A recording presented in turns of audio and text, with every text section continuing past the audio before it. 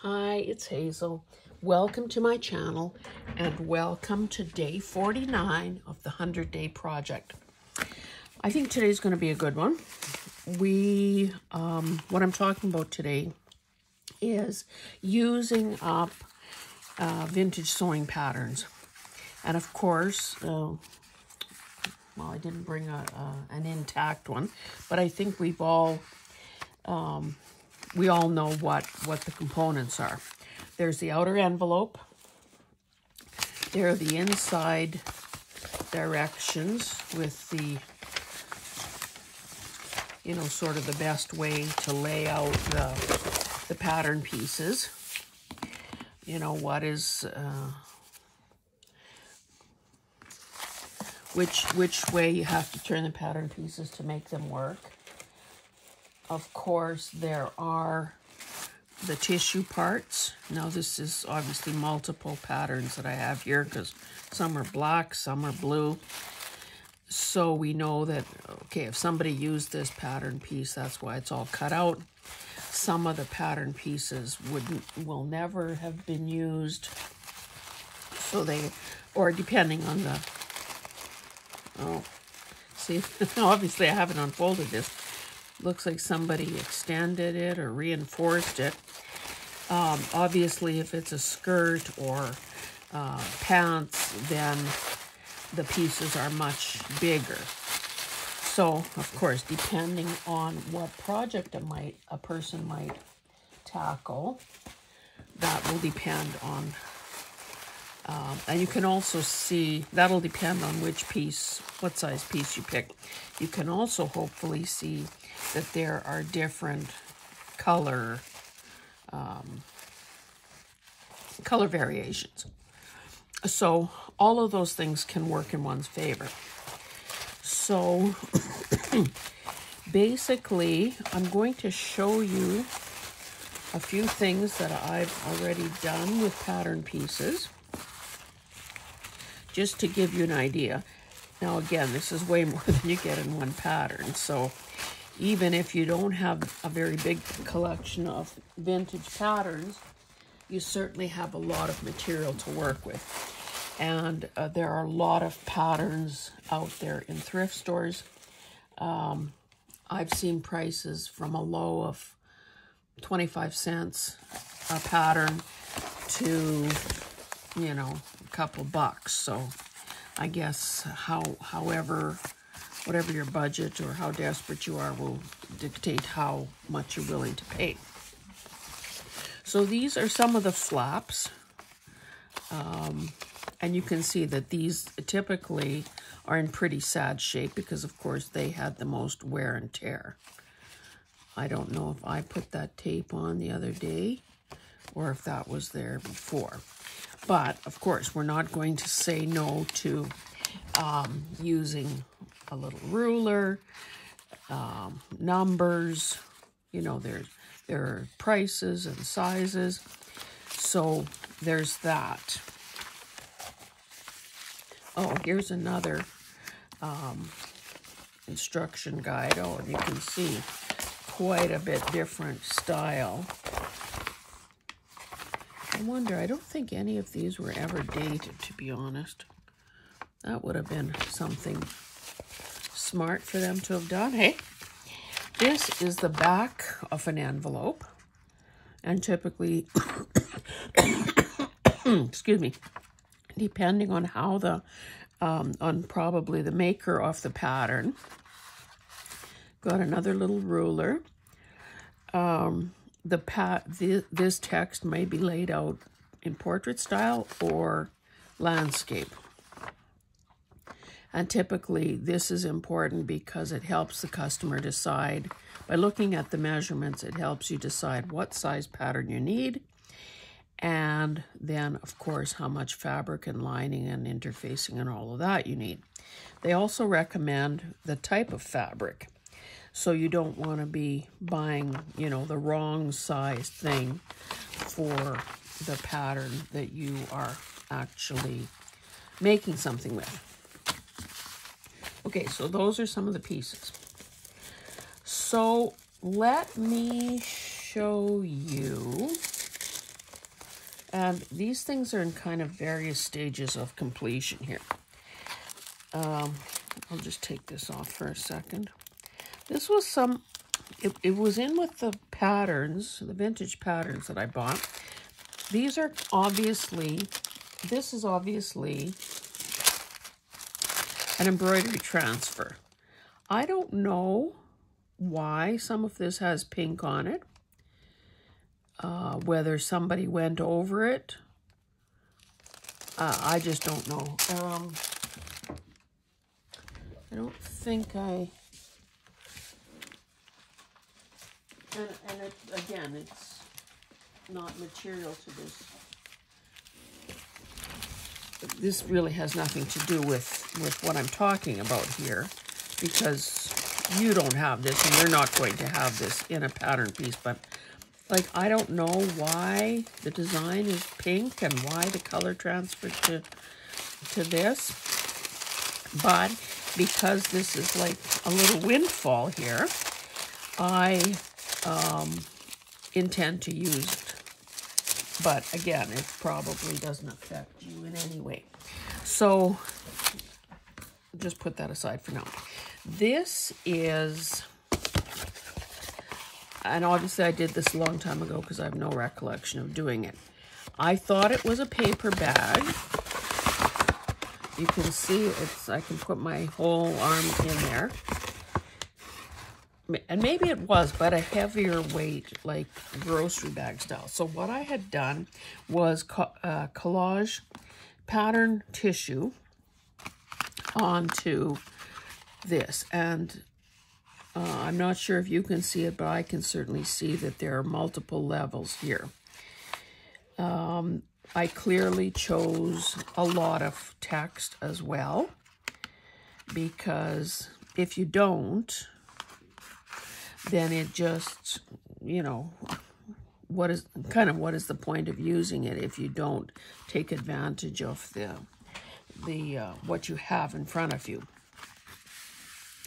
So um, obviously, oh, and I did that inside and out. Then I, I imagine that I glued it and then zigzagged it just for extra stability. Now this is really very stiff, so it's not, I mean, it, it's going to be very durable. Now, as I, as I was prepping, thing, and again, this isn't a, how to do a sewing journal or a homemaker's journal, but um, I guess since I'm here, I'll, I'll, talk about it. This was the cover of some sort of a magazine, uh, not a magazine, but um, a booklet. And I just used it to make two pockets for the front and back cover. The reason I put this here is I didn't want to cover much of the front cover, but I do want to layer a few elements on there. So I'm basically just clipping it in place as a reminder. And elsewhere here, I have other elements that, you know, might make their way onto this cover, including this yo-yo.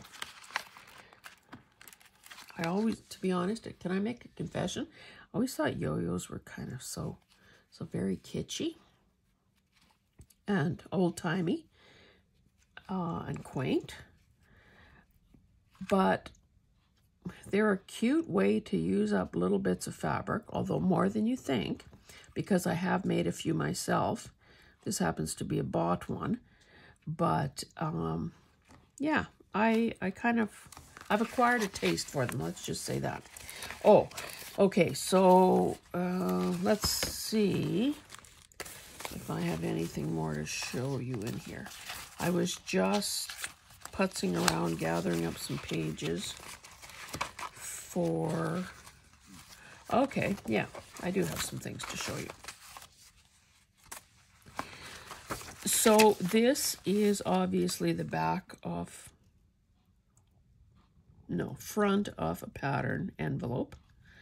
So I cut it out and just um, using washi tape you know, stuck it down to this piece of, of uh, scrapbooking paper. And of course it would open out this, I guess I should put another piece here. It would open out and be writing space. Then this is the back of another pattern envelope. It had a rip in it, so I just repaired it with some washi tape. Um, okay, here is part of the envelope directions from one of them, as well as the the flap from an envelope. So because it was mauve and I had some mauve rickrack, I just reinforced that as well. Now this, uh, I had a scrap of paper here somewhere. Okay, so the height is six and a quarter and the width is six and a quarter. So, you know, kind of a bunch of oddball pieces here. Um, I think this was, oh no, this was, this might have been part of a drawer liner. Again, just another bit of the instructions. I might neaten that up because I had just torn it. Now this, let's see, do I have anything else? Well, okay, this is the back side, and I used another one of those um, label, no, flap scraps on there. I ran it over the edge of the paper. Here is, uh, again, oh, this would have been part of this again, just reinforcing some of the weakest edges. So this is something that, um, and of course, I, I did this a couple or a couple or three years ago.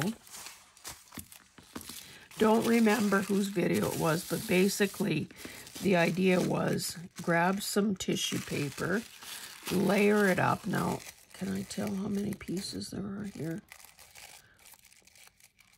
Maybe it's just double.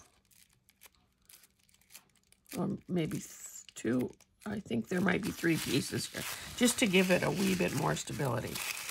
So I made it.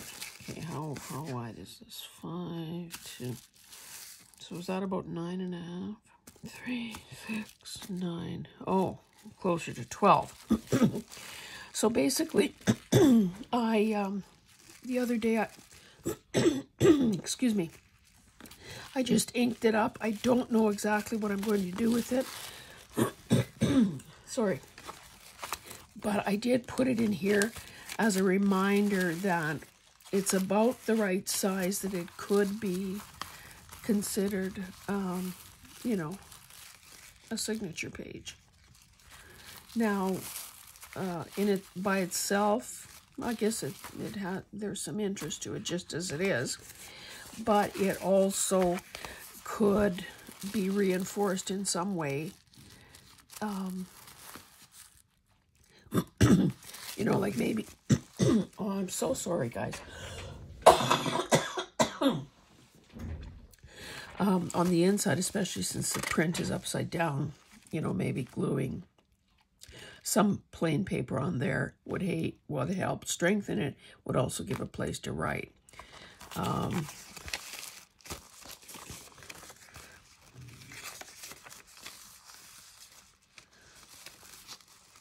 I don't know. I have to think about that. One of the other things I've done, because I had folded it in quarters and it stayed that way for a long time, one of the things that I could also do and will do is sort of go over some of the other creases. Because, of course, we know that to get all this paper into a, the little pattern pouch, pattern envelope, uh, things get really, you know, folded like origami. So that is another possibility there. Okay, so there's that. This is another one of these, but clearly I sewed it better than this one. Like these corners are pretty, oh, can you even see? These corners are kind of really poorly done. Um, you know, so I think a person, I mean, it's fine and it'll do, and I'm not going to sweat it too much, but it is possible to sew better than this. You know, obviously it's thin. It, you know, wants to slip. I guess it depends how sharp a needle a person is using and all of that. But this one was done better. And what I did here was, um, you know, create some little pockets and some side tucks. So this will probably get uh, decorated a little further. Again, this could be a signature page that sort of folds out like so. Don't know, you know, if it's going in this one or not. Um, I do have a second journal in the works here, and I'll show you some of the pages out of that. This, oh, see, in, in a video that I did quite a while ago, a few months ago, I showed a bunch of my little mini journals, and some of them had sewing uh, fabric, sewing tissue covers. So basically, what this is, is a few layers of the tissue paper with some batting or felt or something inside and then obviously zigzag to hold it all together. Now this is kind of a, a, weird little size. Basically, you know, from the spine to the stitching is kind of two inches by, you know, again, stitching to stitching, about four inches. So it would be kind of a bit of a strange little thing. Um, so that's another possibility for what a person can do. It does, it does make it kind of, um, like, I mean, it, it's a cute little handful. It's soft because of the padding, and it would definitely be cute. Now, it is fairly bulky even without any content, so um, because I don't remember what I used inside, I suppose some of that craft uh, felt those craft felt sheets that we can buy at the dollar store, you know, are almost paper thin. So that might be a better bet for reducing some bulk and still giving it a little bit of cush, but reducing some of the bulk. So I might have to try that again.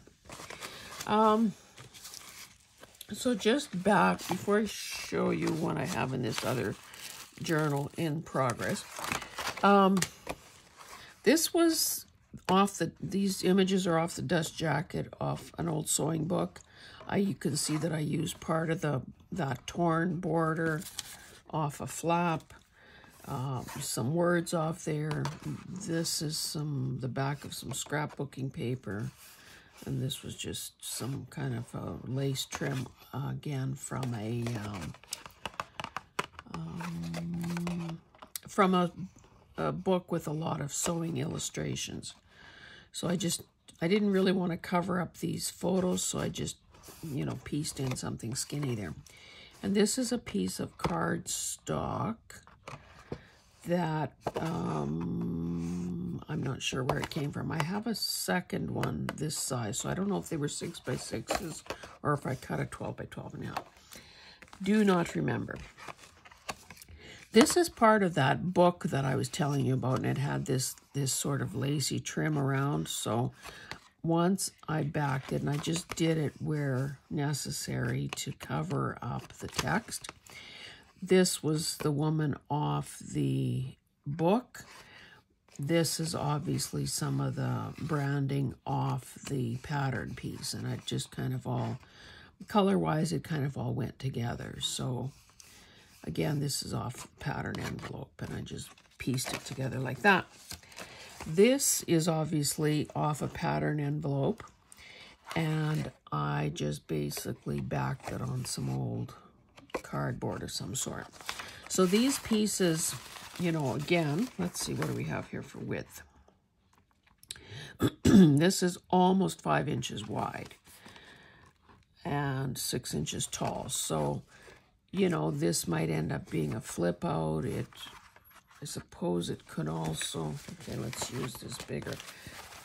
I'll show, oops, I'll show you what I have here. And I did this absolutely ages ago. This is one of the very first fabrics that I, oh, that's thread, that I uh, bought.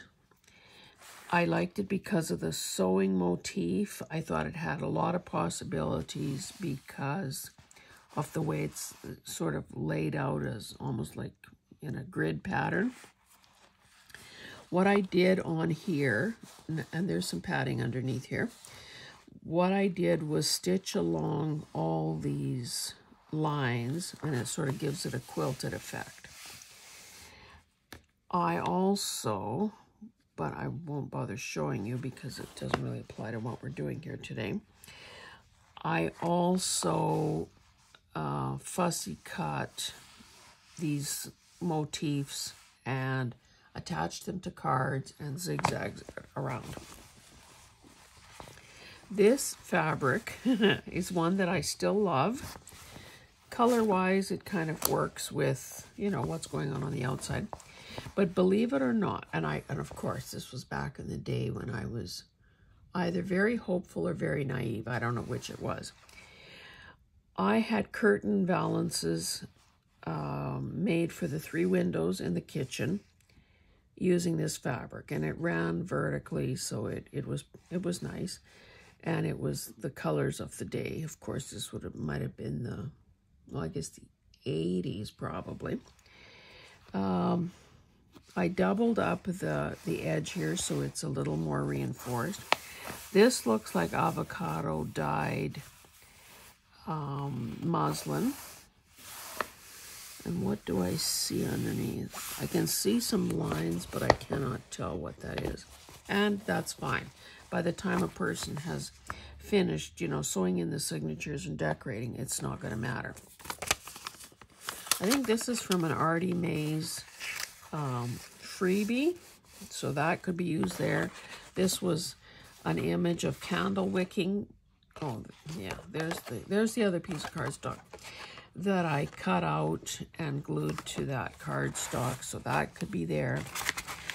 If you saw my uh, video on wallpaper, you probably saw me unroll this wallpaper border. And of course, love it, and the colors are all kind of related. So I just cut uh, a couple of pieces off and I'm trying to flatten them out so those could be signature covers. This um, is a piece of cardboard that would have been both the packaging and the pattern for a kit. So that um, this could actually, although it has a kind of a sharp crease, a couple sharp creases in it, this could almost be the writing board. Um, for the for the uh, for the journal itself. Okay, so let's see what else I have. This is an image out of the book that I said that it had a lot of old-timey and sewing related uh, items. This is part of a pattern envelope. Was a little too wide didn't really want to cut off the, the edges, so I just folded along there to give me a reason to make a, um, to add this little extension here. Now, in a thrift haul that you will not have seen yet, you'll see this before you see that. Um, you'll see that I scored a bunch of these um, petit point charts. So I just basically cut some down. And there were these handmade or traced uh, patterns that somebody was, must have been a Christmas one because it, there's an antler. There's a pattern for an antler there and some holly leaves. So basically I just folded some of those pages. That's a cat fold some of these pattern pages to use as, um, you know, signature pages. This, again, was just randomly um, torn off uh, the instructions. This is more of somebody talking about the supplies that are needed for probably for those I don't know, Christmas thing anyway.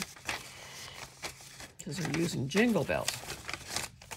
This is a free pamphlet on choosing uh, hand needles, which is really interesting. I have two of them, so I'm keeping one just as a reference because um, I may know some of that, but I also probably have forgotten some of it.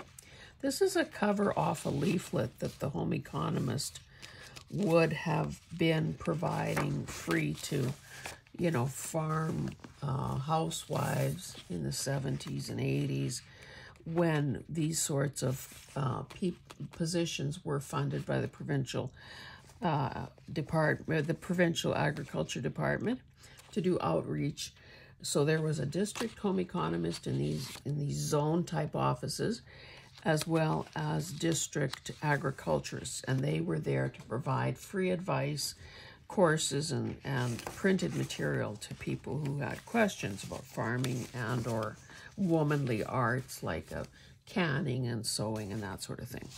So here, this is one of those backs of the envelope that is in landscape format.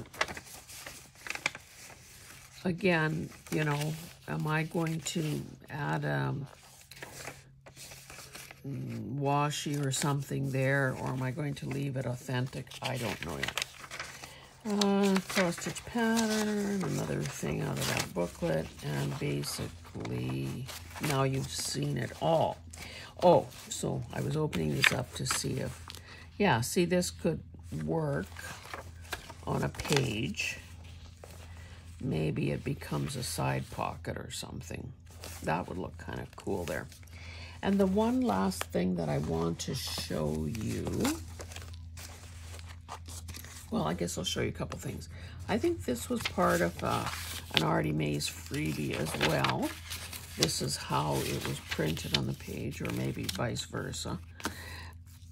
Um, this is my cut edge. Yeah, so it was like this. So I intend to turn these little, these will be like booklet covers. So I just have to find some paper that will fit inside. That'll be another add on there. And this is the final thing I want to show you out of tissue paper. So basically it's another one of these little things. I guess I made three of them, but I chose to put, to make this one vertical. So this is part of a digital. This is out of that book. That's off a pattern piece. I, um, what do you call it, inked it. I added these papers inside. See, my intention would be, I didn't decorate the back, so this would get glued down, sorry, glued down to a page. or maybe in the smaller journal. This seems kind of lost on this page, to be honest. Um, glue the back down. This would open up. There's a space to write there. There's a bit of decoration there. Again, off a pattern envelope, a digital, and no, a scrapbooking thing and a digital. And then two more places to write, another digital. So or for that matter, it could be glued, uh, not glued, but uh, clipped to the side of, uh, yeah, maybe that makes more sense because it might be hard to write on this if it was, you know, hanging off the edge. Yeah, paper clip it on. And, um, yeah. So that is all for today, guys. I hope that you have seen just some of the possibilities that exist for using, um, you know, sewing patterns as a resource. And yeah, as if I need to refer to these journals again for something else, as, as I keep working, I will. I, um, again, part of that thrift haul was some rickrack, some piping, this bit of fabric, this seam binding, so I just I let it soak over, no, for a few hours in some tea. So this too will somehow get added in here, I'm sure, at one point or another to some of this. But for now, that is all I wanted to show you today. So if you have sewing patterns that are just, you know, sitting in your in your stash somewhere, um, maybe it's time to pull them out and begin exploiting the possibilities that exist.